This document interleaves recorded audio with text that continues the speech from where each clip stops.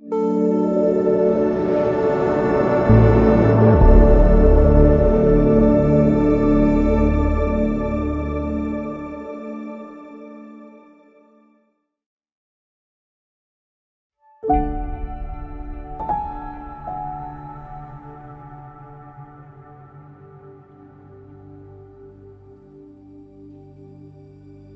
this time, we talk about that which counts.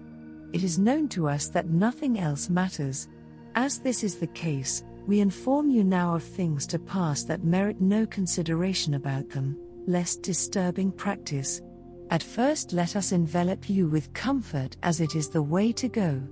At long last, we inform you of these things. It's time to take note.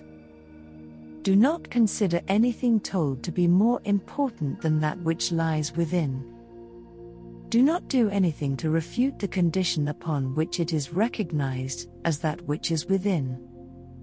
Do not tempt fate by altering priorities after all is said and done. Do not do this. In effect, take consideration of all that has occurred and remember the statement made by us that to determine upright, that which counts, spend some time with the self of all.